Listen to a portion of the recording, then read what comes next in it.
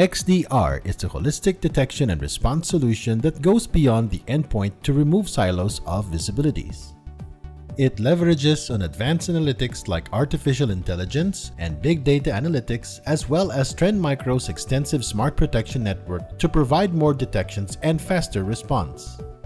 Unlike the endpoint detection and response, XDR doesn't focus on endpoint detection alone.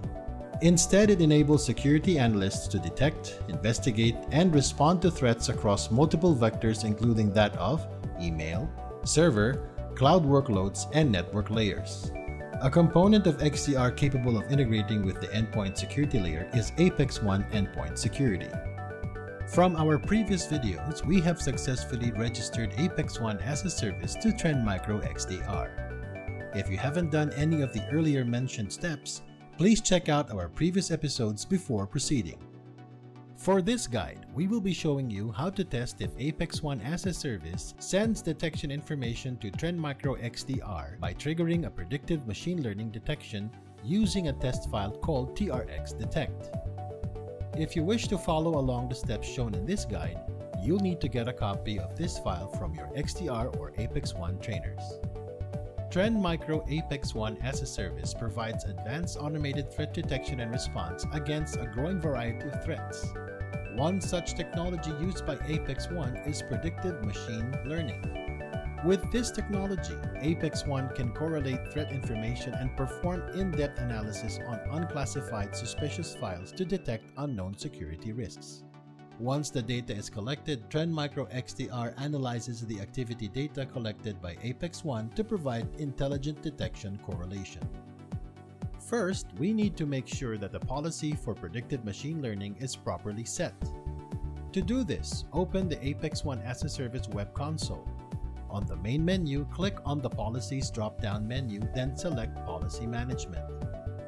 Select any policy that you've created, then on the left panel, select Predictive Machine Learning. Under Detection Settings, make sure that for both file and process types, the action is set to log only. Since our goal is for Trend Micro XDR to analyze if the detection is an unknown threat, we need to make sure that Apex One security agent doesn't take action on the detected file. Click on the Deploy button at the bottom to deploy these settings to your endpoints.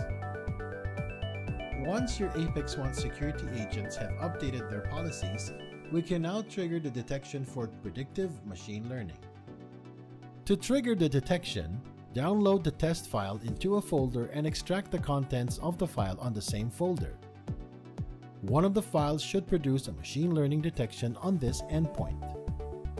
Click on the notification to open the logs window. The detection should say log only under the result. The information about the detection on the endpoint is submitted to both the Apex One server and Trend Micro XDR. Let's go check the information sent to Trend Micro XDR. Log in to the Customer Licensing portal.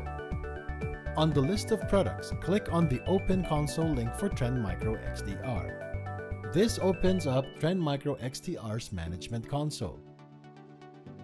On the left panel, click on the Workbench icon. This displays the events sent from all registered Trend Micro products including Apex One as a service. Events are usually sent to the Trend Micro XDR data lake every 5 minutes, so just in case the predictive machine learning alert we've triggered hasn't shown up yet, wait for a few minutes and refresh the page. Once the event is available, click on the corresponding Workbench ID. Since we are testing Apex One's predictive machine learning detection, select the Workbench ID beside the machine learning malware detection model. This opens the summary for this triggered event. The summary highlights where the file was detected, the impact scope of the detection, as well as the file's hash and path. With this demo, we have tested the connection between Apex One as a service and Trend Micro XDR by triggering a predictive machine learning detection.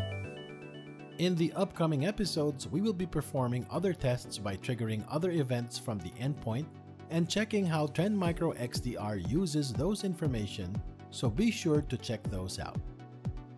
I hope this has been informative for you.